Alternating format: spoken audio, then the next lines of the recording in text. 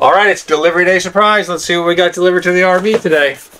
We got three things, and I think that they're all for the RV. This RV. feels like a cassette tape. It could be. I could have ordered it from the 80s, but it's unlikely. What the heck are these? They're just little rubber stoppers for the doors on the bins under the RV. For the basement? yeah, for the basement. Alright, that was boring. Next! What is this, like a Windows 98 box? Yeah, exactly. Pool candy. What the hell is this?